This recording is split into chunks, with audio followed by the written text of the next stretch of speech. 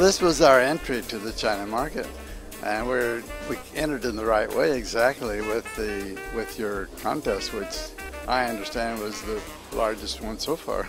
we're aiming our very top products toward the China market because we think they will support these top products, and uh, they're getting exclusive to our reserve wines. Well, we've had a lot of uh, a lot of comments, a lot of congratulations on the fact that we won two gold medals in your contest. Congratulations. Yes. So uh, we, we think it will, for, particularly when we're unknown in the market, we think it'll help establish us in the right level, you know, of, of uh, winemaking. Well, this is this is really why we're here.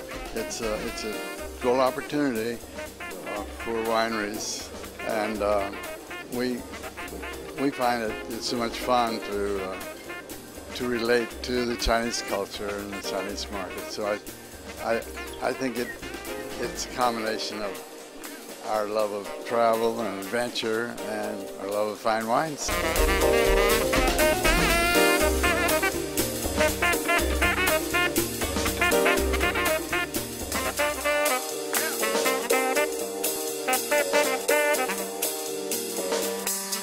The largest blind tasting ever in Greater China.